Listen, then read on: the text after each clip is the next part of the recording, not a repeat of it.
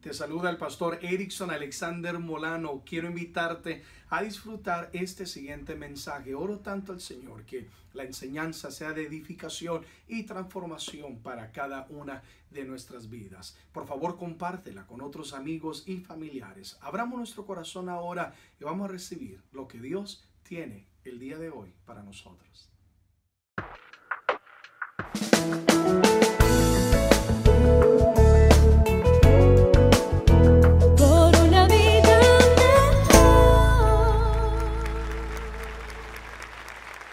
He titulado el mensaje de hoy Sin retorno, sin retorno.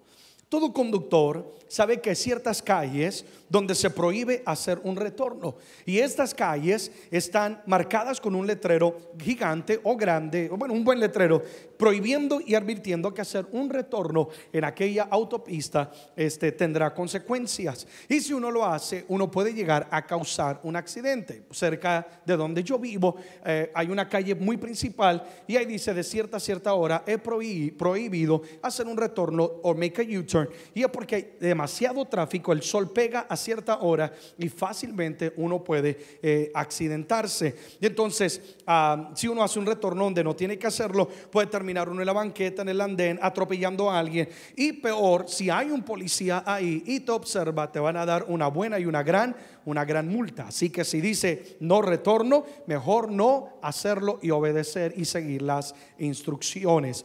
Eh, de una manera similar, en la vida del creyente debe haber un letrero grabado en nuestros corazones precisamente que diga esas palabras, no retorno. Es decir, si he decidido seguir a Jesucristo, le he entregado mi vida, yo le voy a ser fiel para siempre, sin importar las presiones del mundo, los errores que llegue a cometer en mi caminar, las dificultades, las pruebas, las luchas que todos enfrentamos en la vida o cualquier ataque que el enemigo lance en nuestra contra. Alguien diga conmigo, no retorno.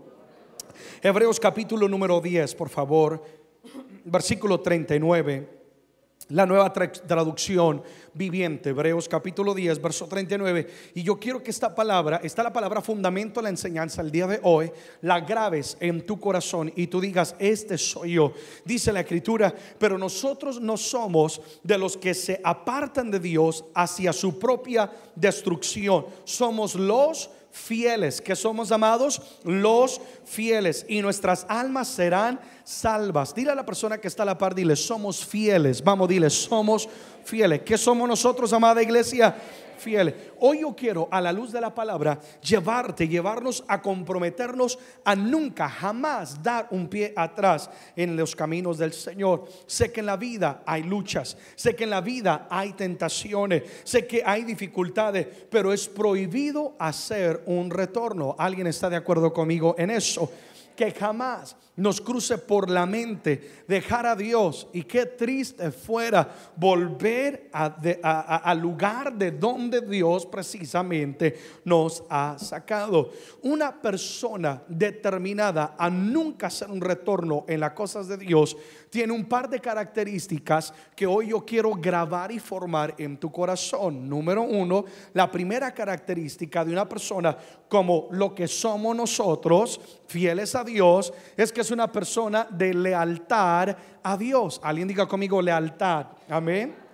¿Qué quiere decir esto? Una persona fiel. Como decía el apóstol hace un versículo, nosotros no somos de los que vamos a retroceder fácilmente, o más bien que vamos a retroceder, sino que al contrario, nosotros somos de los fieles, porque dentro de la viña del Señor hay de todo. Hay los leales y los desleales, los agradecidos y los desagradecidos. Y nosotros necesitamos determinar, en mí hay un corazón y un pacto ante Dios que dice, sin retorno, yo no voy a darle a Dios la espalda, yo voy a ser leal a Dios. Vamos a ver uno de los máximos ejemplos de alguien que fue leal a Dios durante toda su vida en la Biblia. Segunda de Timoteo, capítulo 4, versículo 6 al versículo número 8. Segunda de Timoteo 4, 6 al 8. Dice el apóstol Pablo escribiendo, porque yo ya estoy para ser sacrificado y el tiempo de mi partida está cercano. He peleado la buena batalla, he acabado la carrera, he guardado la fe. Por lo demás me está guardada la corona de justicia. ¿Qué está diciendo él? Está diciendo, estoy a punto de partir, pero me espera algo mucho mejor que lo que estoy dejando aquí en la tierra. Me espera la corona de justicia, la cual me dará el Señor, juez que amados, justo.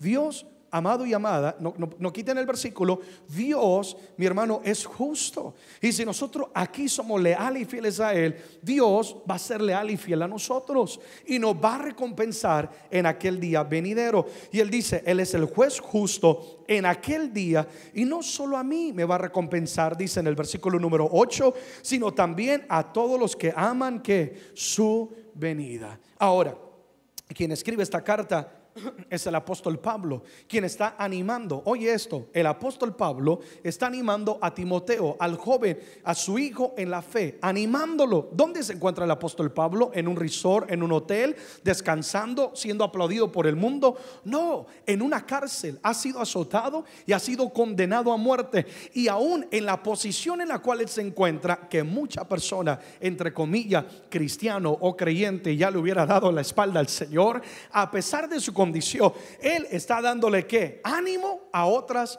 personas. Gloria a Dios por eso, sí o no, amados. Ese es el tipo de creyente que tú y yo debemos de ser y por quienes viene nuestro Señor Jesucristo, gente leal. El apóstol Pablo es quien escribe esta carta. Él está a punto de ser, él dice sacrificado, porque él sabe que su muerte no va a ser en vano. Todo sacrificio va a producir vida. Y él sabía que al él morir, muchas más personas iban a recibir aún el mensaje del Evangelio. Él está a punto de ser ejecutado. ¿Por qué? Porque era un ladrón. ¿Por qué? Porque fue alguien que fue mal en la sociedad. No, por simplemente predicar a Jesucristo durante su ministerio. Lo único que él recibió, y él habla de ello, azotes, fue apedreado. Dice que una de las veces le dieron tan duro con piedra, mi hermano. Dice que lo tiraron afuera y le dejaron de dar piedra no porque tuvieron compasión, sino que alguien dijo, ya se murió, ya no podemos darle más piedra. Y ahí venía el pitufito a tirar otra piedra y dijo, no, no, ya está muerto, nadie más le va a poder tirar piedra.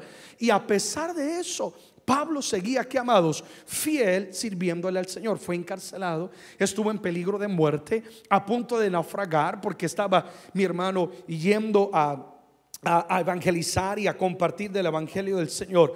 Pero a pesar de eso, él nunca negó a Dios, nunca volvió al mundo, porque ese es el ejemplo del creyente que nosotros tenemos que ser.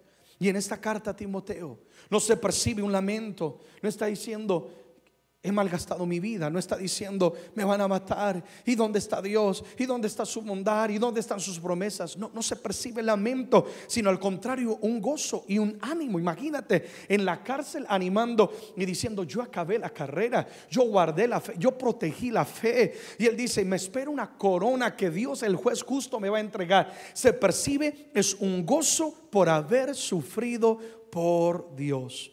Amados, Dios está buscando personas que sean leales. Y la persona que nunca da un retorno en los caminos de Dios es una persona comprometida, como el espíritu que había en Pablo, que es un espíritu que dice, a pesar de las luchas, de las adversidades, a pesar de que no me saluden o me miren mal o hablen mal de mí o den un comentario negativo en la red social, yo voy a seguir amando y sirviendo al Señor. Sí no, amada iglesia. Comparemos Comparemos nuestras aflicciones de hoy en día con las aflicciones de Pablo. Y verdaderamente es una vergüenza que gente hoy en día le dé a Dios la espalda o que regresen al mundo. Me da tanta tristeza. Cuando veo gente que un día adoraban, cuando veo gente que un día servía con nosotros y ahora han retornado al mundo del ayer y da tanta tristeza. ¿Por qué? Porque el enemigo lo que está buscando es una oportunidad para poder matar, robar y destruir. Tal lo dice la escritura. Alguien dice amén a eso. Ahora comparemos, como decía, nuestras aflicciones a las aflicciones del apóstol Pablo apedreado ¿Qué, es lo peor que alguien ha hecho en tu contra cuando le hablas de Jesucristo? Eh, eh, eh, ¿Se burló de ti quizás? A lo mejor dejó de ser tu amigo, tu amiga. ¿Qué, es la peor tribulación que hemos vivido? Quizás te quedaste sin gas, quizás no hay dinero para pagar la hipoteca. Y hay gente que por eso le da la espalda a Dios. ¿Dónde está la promesa? ¿Dónde está la fidelidad del Señor? Y Pablo, a pesar de que a punto de morir, a punto de todo lo que él sufrió, él dice, me espera una gran corona, me espera el Señor que me va a bendecir y me va a recompensar. Había un gozo por haber sufrido por Jesucristo. A Jesucristo lo seguían las multitudes, pero era por los panes y por los peces, por los milagros por ver qué podemos seguir de Jesús, qué podemos conseguir de Él. Y hoy en día hay mucho creyente de esa manera. Cuídate de no ser esa generación de personas que seguimos a Dios por sus manos, mas no por su corazón. Es decir, por lo que Él nos da y no por lo que Él es y lo que Él representa para cada uno de nosotros.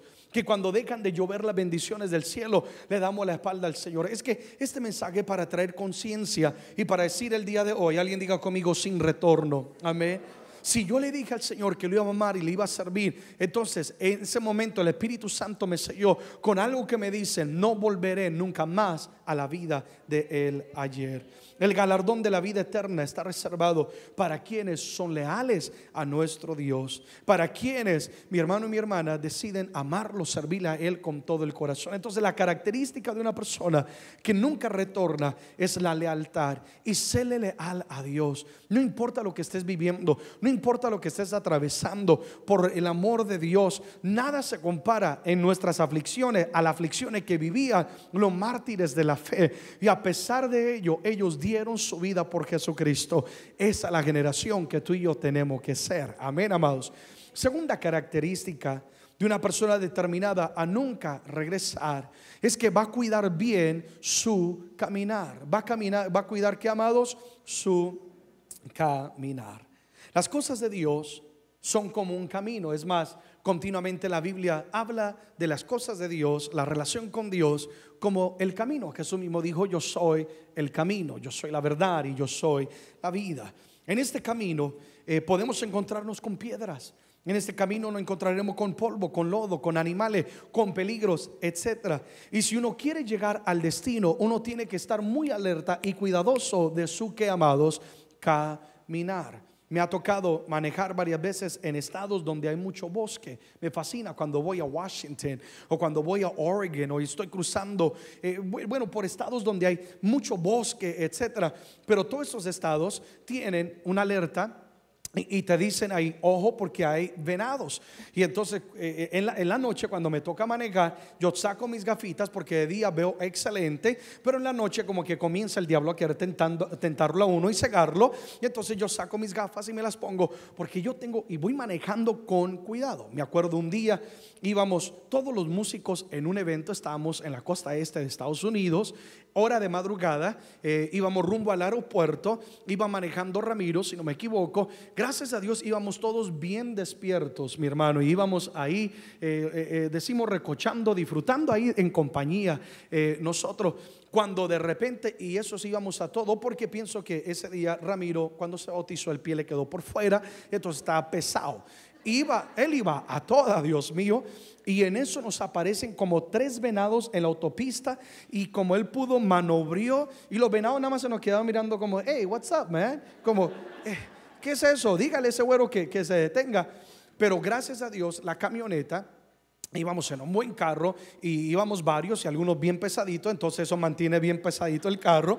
No se volteó ni nada, esquivamos los venados, pero lo que quiero decir es que uno tiene que tener cuidado en el camino, porque si uno no cuida bien, fácilmente puede llegar a accidentarse.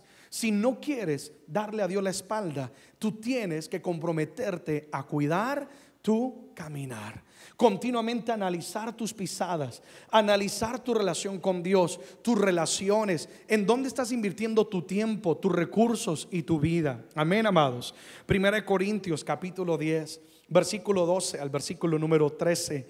La escritura dice, así que el que piensa estar firme, mire que no caiga. Y yo creo que ahí está todo un mensaje. El que piensa estar firme, mire que no, es que yo soy el hombre de la super fe, yo soy la mujer más ungida, yo soy el más santo. Oye, ten cuidado, porque el que piensa estar firme, muchas veces la persona más pronta, ¿para qué, amados? Para caer. Ahora, el versículo 13 dice, no os ha sobrevenido ninguna tentación que no sea humana pero fiel es quien, Dios, que no os dejará ser tentados más de lo que no podéis resistir, sino que dará también juntamente con la tentación la salida para que podáis soportar. Es decir, cada vez que hay una tentación en tu vida, siempre va a haber una puerta para escapar. Nadie puede decir, amén, aplaudimos al Señor. Nadie puede decir es que fui tentado y me ganó la tentación. Estábamos solos y me ganó la tentación. Nadie me estaba viendo y me ganó. No, siempre hay una puerta que si nosotros decidimos salir por esa puerta, escapamos la tentación. Amén, iglesia. Ahora, dos cosas quiero destacar dentro de este texto. Dice, el que piensa estar firme, mire que no caiga. Escribe en tus notas, tengo que cuidarme. Vamos, dilo, tengo que cuidarme. La razón por la cual nos desviamos o retornamos es porque nos descuidamos. ¿Te ha pasado vas manejando en la autopista y de repente te medio descuidas? Y los freeways, no sé si pasa a propósito que cuando te descuidas es cuando se multiplican en 10 y uno dice, ¿para dónde me voy ahora? Y terminas en Tijuana, pero ibas más bien para San Francisco, ¿verdad? ¿Qué es lo que pasa? Si te descuidas fácilmente, vas a desviarte, vas a distraerte. Y mucha gente da la espalda porque se descuida, descuida su relación con Dios. Amado y amada, no vendas tu comunión con Dios por nada. Por algo siempre les decimos, cuiden su comunión con Dios, hablen con Dios, lean la escritura. Es porque, porque necesitamos permanecer en las cosas del Señor. Porque descuidan el congregarse. Es verdad, Dios está en todo lugar, pero el congregarnos es algo bíblico y necesario para el crecimiento espiritual y corporativo de la iglesia. Amén, amado. Pero pastor, es que me siento cansado, es que esto y aquello. Mi hermano, agarra la carne y arrástrala, pero ven, porque aquí tú necesitas, alguien dirá, pero qué carnicería la que tengo, ¿sí o no? Pero es tú necesitas venir a recibir palabras, ser instruido, a conectarte el uno con el otro, adorar juntos, disfrutar la presencia de Dios, ser corregido si hay que ser corregido. Amén, amados. Descuidamos las amistades y de repente nos comenzamos a asociar con gente incorrecta, asociarnos con personas que nos alejan de los pies de la cruz del Calvario personas que sabemos que no son de beneficio para nosotros, sino que tú sabes cuando el enemigo con astucia, oye esta palabra, palabra, con astucia, porque el enemigo es astuto, no es sabio, astuto, con astucia siembra gente en tu vida para desanimarte, para tentarte, para alejarte, para hacer que tú vendas tu prioridad, quien es Dios, y descuidamos las amistades y de repente nos rodeamos de la gente equivocada, descuidamos lo que vemos y comenzamos a ver cosas que no agradan a Dios.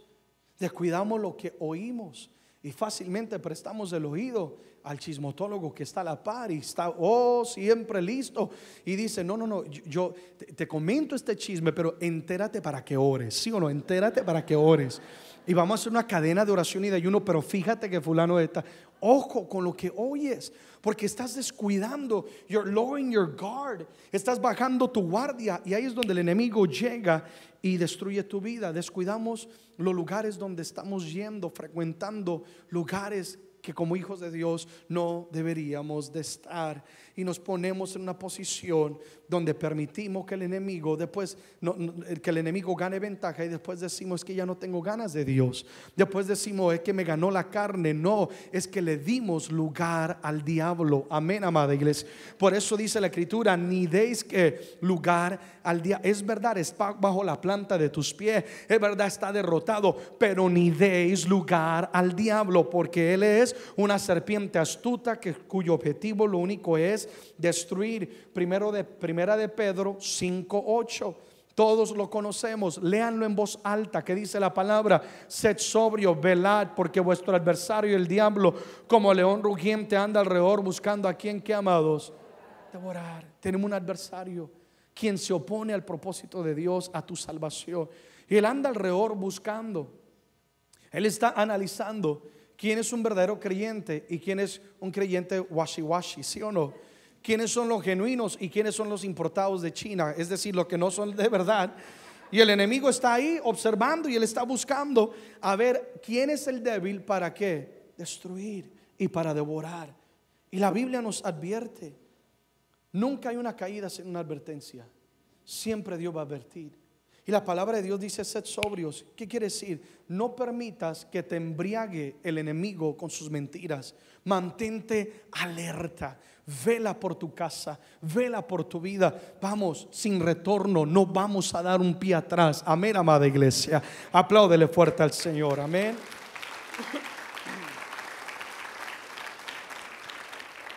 Lo segundo que quiero destacar de lo que leíamos en 1 Corintios 10, versículo 13, dice, no os ha sobrevenido a ninguna tentación que no sea humana. Y lo segundo que yo quería destacar sobre este texto es que hay personas que dicen, es que solamente parece que solamente a mí son estos problemas, es que solo a mí esta tentación, solo a mí esta adversidad, solo yo, Dios, no me amas. Y yo, yo quiero que entiendas algo, en la vida, en este caminar de la vida, todos estamos en el mismo barco. Tú no eres la única persona a quien el diablo tienta. No eres la única persona a quien le llega el desánimo, a quien le llega la oportunidad de pecar. Yo creo que a todos, sí o no, amada iglesia. La diferencia es que hay algunos que hemos determinado el punto número uno, ser leal a Dios y no retornar. Y la diferencia es que hay algunos que le dan al, enemigo ventaja y se descuidan y por lo tanto el enemigo eh, comienza a ganar lugar. Amén. Entonces, si estás comprometido, comprometida a no retornar, Cuida bien tu caminar, analiza tu caminar. ¿Cómo está tu relación con Dios? No lo decimos, mi hermano, mi hermana, por fastidiarte, sino porque es necesario para tu victoria y para tu relación con Dios. ¿Cómo están tus amistades? detestas estar con gente que profesa a Jesucristo, eso debe ser una alerta, una alarma sonando. Algo no está bien porque el espíritu con espíritu liga. Y si nuestros espíritus están incorrectos, va a ligar con la gente incorrecta. Mas si nuestro espíritu amamos las cosas de Dios, vamos a amar estar dentro de un lugar donde se ama, se honra y se respeta a Dios. Amén, amada iglesia. Entonces cuida, cuida tu caminar. Ahora, Cuatro razones, brevemente, quiero cerrar con esto, por las cuales nosotros debemos decir no al retorno. Cuatro razones por las cuales vamos a decirle no al retorno. Y la número uno es porque fue alto el precio que Jesús pagó. Fue alto el precio que Jesús pagó. Sería ingrato de mí darle la espalda a Dios, quien lo dio todo por mí. El precio de nuestra salvación.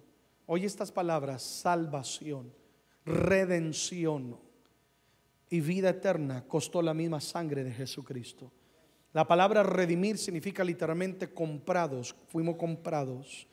Redimir habla de un tiempo de esclavitud, cuando una persona es esclava a un amo y venía alguien y decía, yo pago, yo redimo, yo compro, esa persona ya no está bajo esa esclavitud. Ahora esta persona tiene el, eh, la autonomía de tomar decisiones sobre la vida de esta persona. Jesús fue a la cruz del Calvario, Satanás nos obtenía en derrota y literalmente comprado, si lo decimos de esa manera, Jesús con precio de sangre nos compra, nos redime para que ahora pertenezcamos a su reino.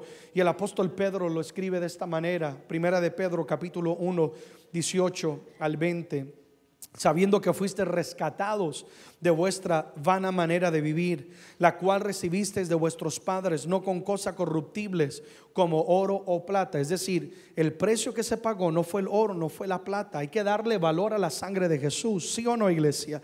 Versículo 19, sino con la sangre preciosa de Cristo, como de un cordero sin mancha y sin contaminación. Versículo 20, ya destinado desde antes de la fundación del mundo, pero manifestado en los postreros tiempos por amor de vosotros. Alguien diga conmigo, Dios me ama. Vamos más fuerte, Dios me ama porque Dios te amó tanto fue que le envió a su hijo unigénito a esta tierra a morir en la cruz del Calvario. Jesús sabía lo que él venía, él sabía el precio que tenía que pagar, pero no le importó. No le importó.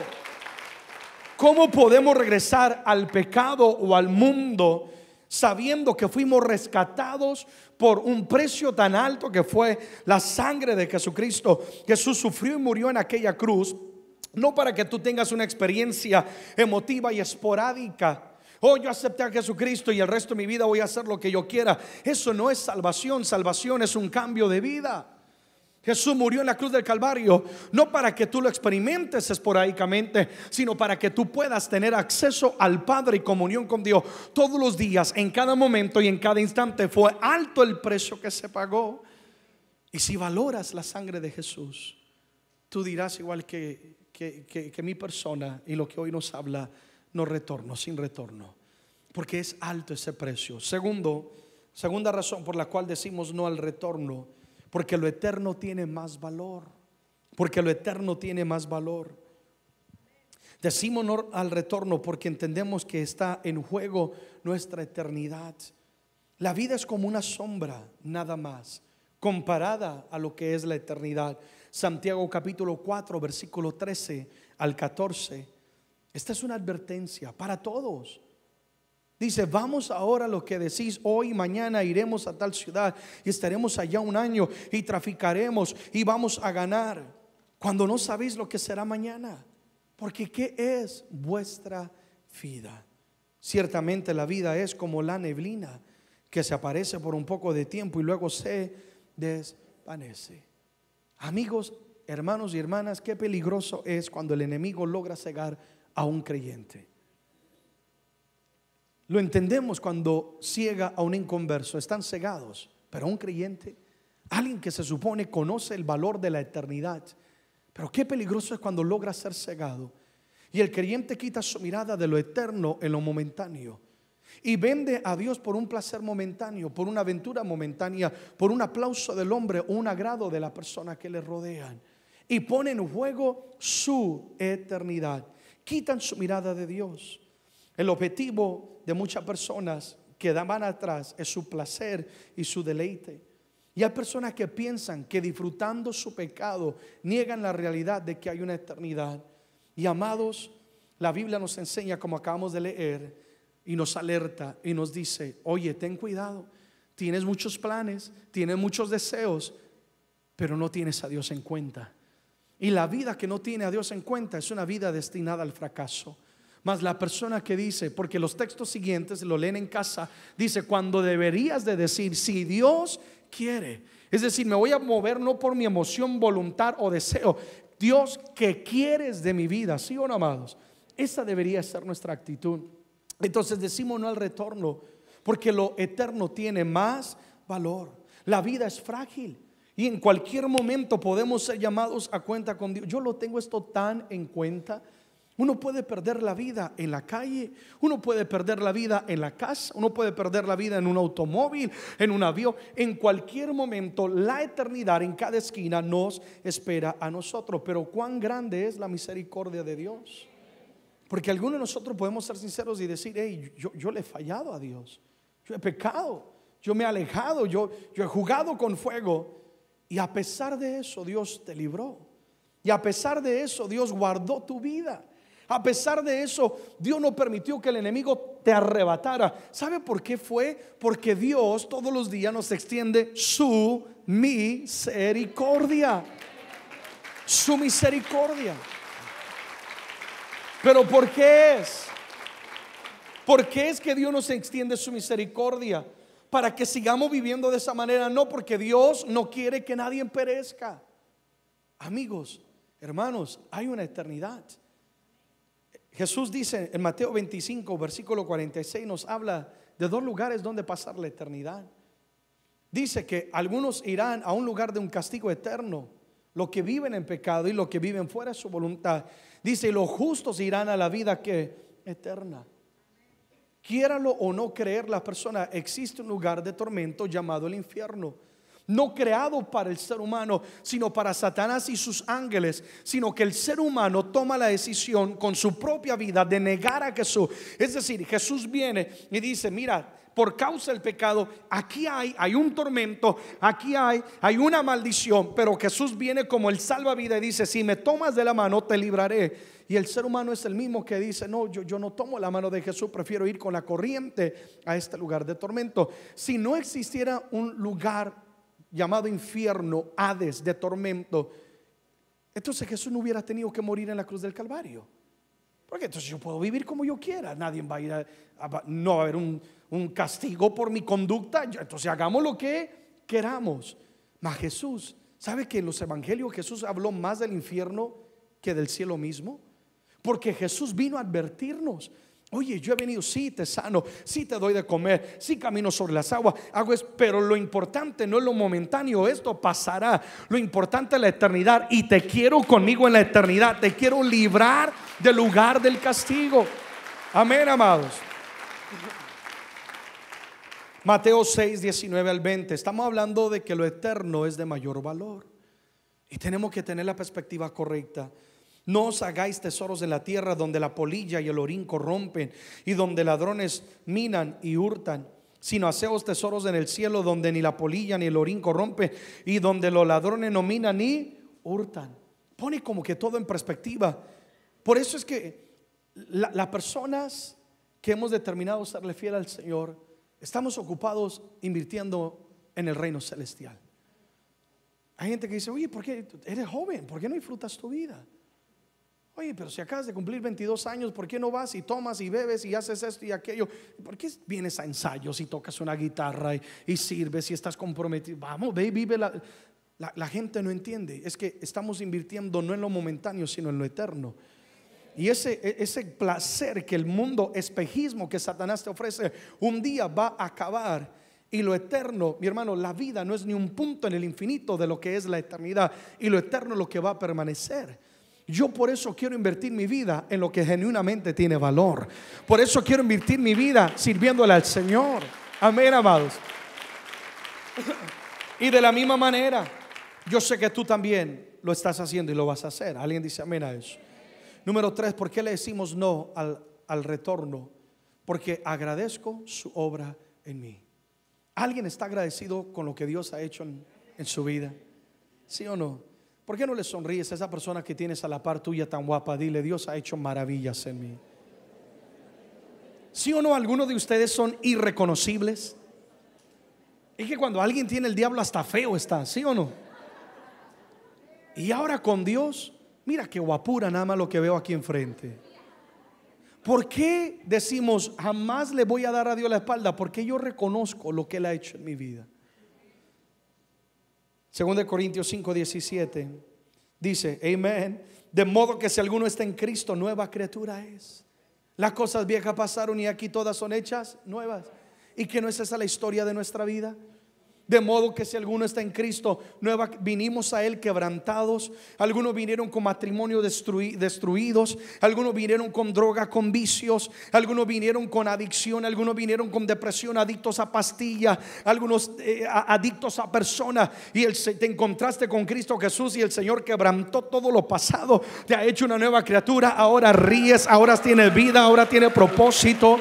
Ahora ayudas a otros, ¿sí o no? Agradecemos lo que Dios ha hecho y sería desagradecido y de leal de mi parte después de todo lo que Dios ha hecho y la obra que Él ha empezado en mí, es que Dios ha avanzado tanto, sería de mi parte una persona muy desagradecida darle a Él la espalda, ¿sí o no, amados? No eres perfecto, no somos perfectos, pero quien empezó la obra la va a perfeccionar. Hay gente que le da la espalda a Dios porque dice, es que pastor, no he podido cambiar en esto, no he podido cambiar en aquello. Es que quien dijo que la iglesia es un lugar de gente perfecta. Aquí ya vemos pura gente llena de imperfecciones, ¿sí o no? Por más perfume y más hermoso que te vistas, Dios es el que conoce el corazón.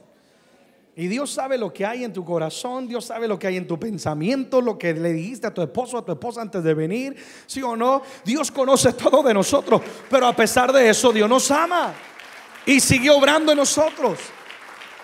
Dale gracias a Dios. que Dios no echa la basura la materia, sino que la toma, la renueva y nos hace una nueva criatura. Apláudele ahora hacia el Señor.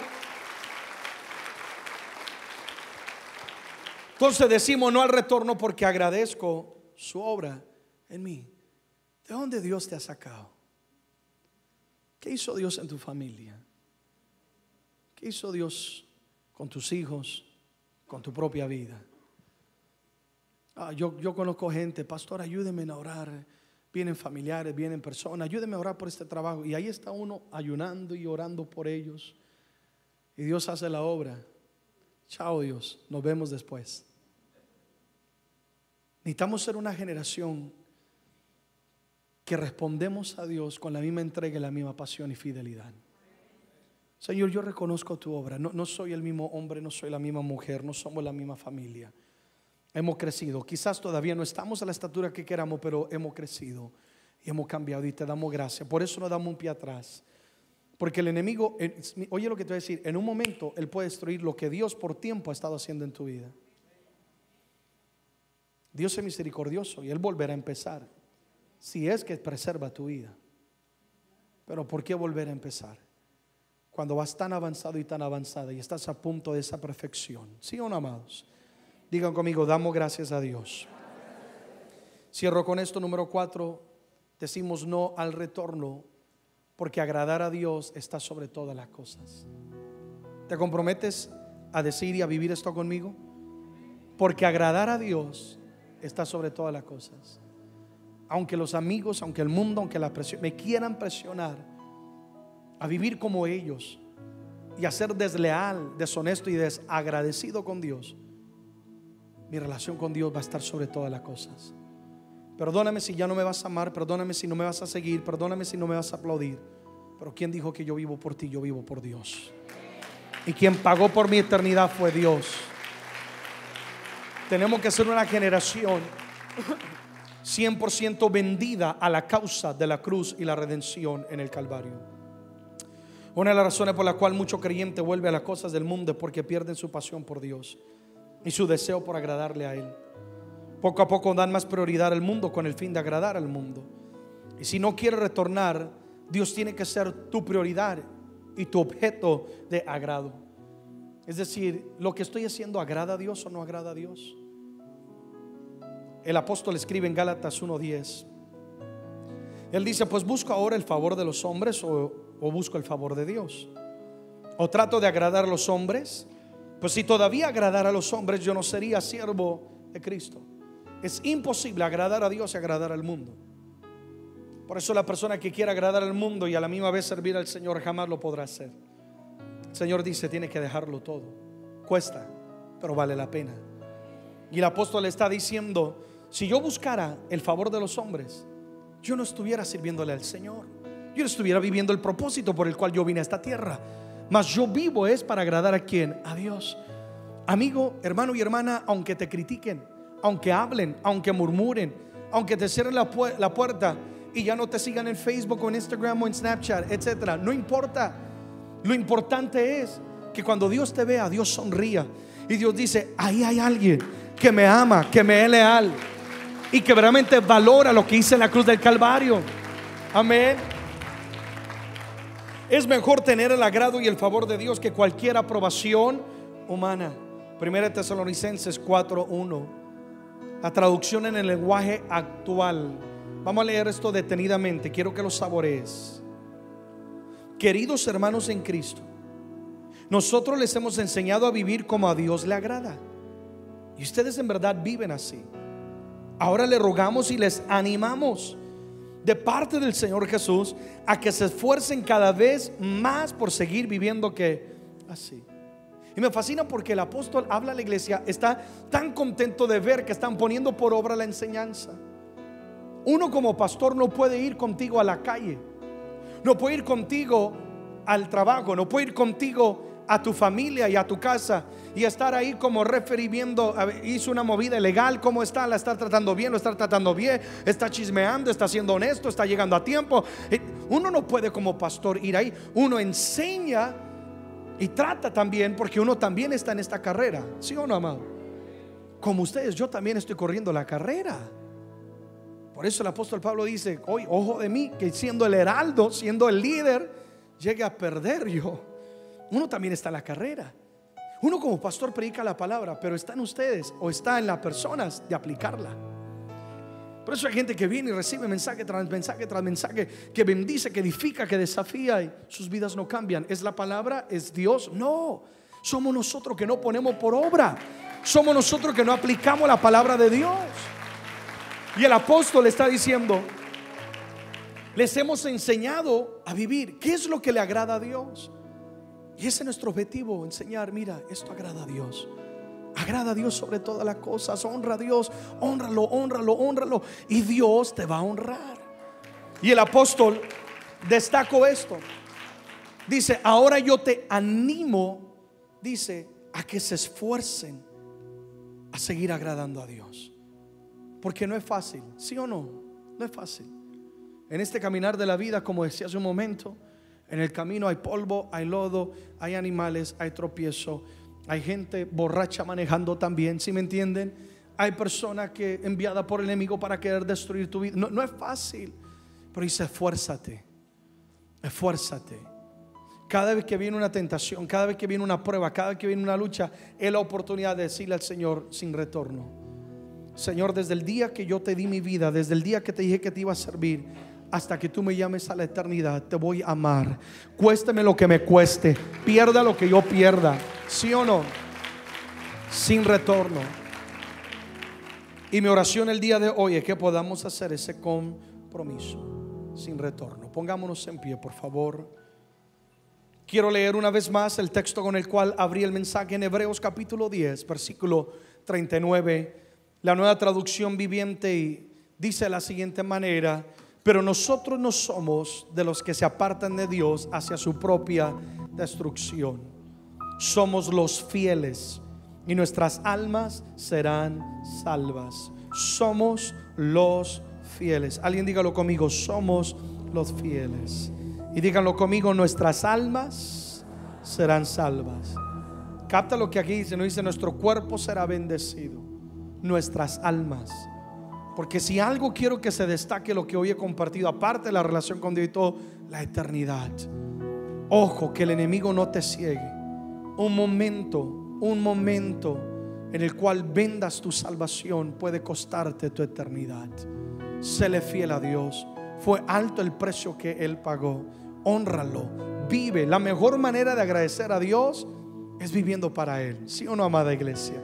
Alguien dígalo conmigo sin retorno. Amén. Oremos, por favor. Padre, gracias. Una vez más nos hablas de una manera tan audible, tan personal, de una manera que trae luz, cambios y exhortación en nuestro caminar. Atesoramos esta palabra, Dios.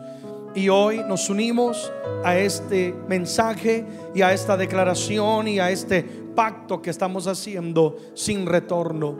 No daremos un pie atrás ayúdanos, enséñanos a serte fiel. Como el apóstol Pablo decía, el mundo ha muerto para mí, ahora para mí el vivir es Cristo y si muero es ganancia aún porque lo voy a ver. Señor, levanta y haz de tu iglesia una iglesia leal, una iglesia que te ama y que te va a servir. Padre, yo oro por cada uno de mis hermanos y hermanas. Yo sé que hay luchas, que hay pruebas, que hay batallas. Yo, yo, yo sé lo que se enfrenta allá afuera. Pero yo hoy pido que ese mismo espíritu que había en Pablo, que escribe aún desde la cárcel para animar a quienes estaban afuera, y decía, yo he guardado la fe, Padre, que ese espíritu habite en cada uno de nosotros. No daremos un pie atrás. Nos comprometemos a serte leal, Dios, a cuidar nuestro caminar. Aparta de nosotros lo que no te agrada aquellos hábitos que dañan nuestra comunión contigo. Quita de nosotros aquellas relaciones, Padre, que perjudican. Quita de nosotros todo aquello de parte del enemigo que quiere robarnos y apartarnos de las cosas tuyas, Dios. Hoy decimos una vez más, no retorno cuidaremos nuestra comunión contigo, cuidaremos nuestro congregar, cuidaremos nuestro servirte, Padre, con todo nuestro corazón. Y hoy, con todo nuestro ser, te queremos decir gracias. Gracias por lo que hiciste en la cruz del Calvario. Gracias por tu sangre derramada. Ayúdame ahí donde estás a simplemente adorarlo y a decirle gracias. Dile, yo reconozco y yo valoro el precio que tú pagaste. Señor Jesús, rodeado de multitudes durante todo tu ministerio. Gente que quería el pan y quería el pez y quería el milagro. Pero en aquella cruz estaba solo Dios. Enséñanos a no ser como esa generación sino a ser una generación que te ama y que te valore y que te va a servir para siempre, Dios. Gracias. Atravesado con aquella lanza, bofeteado, escupido, la barba arrancada, coronado con una espina, y aún así guardaste silencio por cada uno de nosotros porque tu sangre sabía que nos daría redención, salvación, perdón de todo pecado. Por eso hoy te damos gracias. Cuán alto fue el precio que se pagó perdóname si en algún momento he pensado retornar, si en algún momento le he abierto la puerta al enemigo, Dios. Y yo hoy pido, ayúdame, Padre. A, preservar y, y, a mantener con ese temor esa vida eterna y esa salvación que ha sido provista en la cruz del Calvario. Te doy gracias por la obra que has hecho en mí por el cambio tan real y tan palpable en mi vida. Señor, y hoy nos comprometemos, te vamos a agradar sobre todas las cosas. En el nombre de Jesús. Ora conmigo estas últimas frases y dile, Padre, no retorno, sino que con todo mi ser te voy a amar, te seré leal, te seré fiel. Valoro tu sacrificio en la cruz del Calvario. El Espíritu Santo me ha sellado y me ayudará a serte fiel en cada instante. Agradarte es mi deleite. Recibo de tu unción, recibo de tu poder para vencer contra toda obra del enemigo. Hoy determino cuidar mi caminar. No daré un pie atrás. En el nombre de Jesús te doy gracias por la obra que has hecho, lo que seguirás haciendo. Y fiel te seré hasta el día en el cual te veré cara a cara. En el nombre de Jesús. Amén y amén.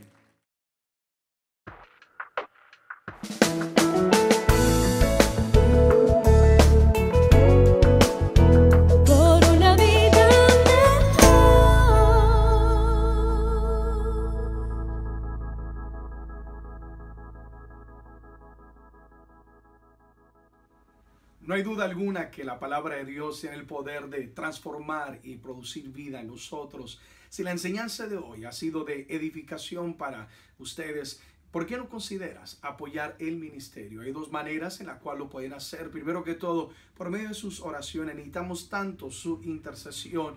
Estamos continuamente viajando a tantos países compartiendo el mensaje de vida y esperanza, pero también por medio de su contribución monetaria. Considera una ofrenda especial al ministerio. Para ello, pueden simplemente marcar a los números de teléfono que aparecen en pantalla y oro al Señor que Él me les multiplique mil veces más. Una vez más, no se les olvide, compartan la enseñanza y que Dios me lo siga bendiciendo.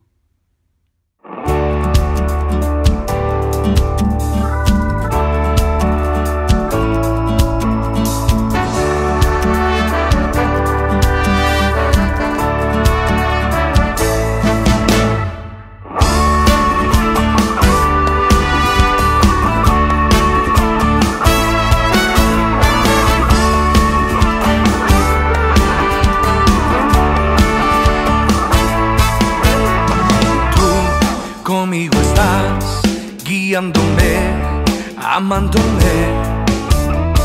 Yo puedo confiar que todo obrará para mi bien. Tú conmigo estás guiándome, amándome. Yo puedo confiar que todo obrará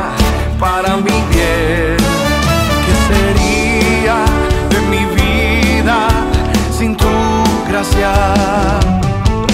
Cada día me rodeas de tu favor.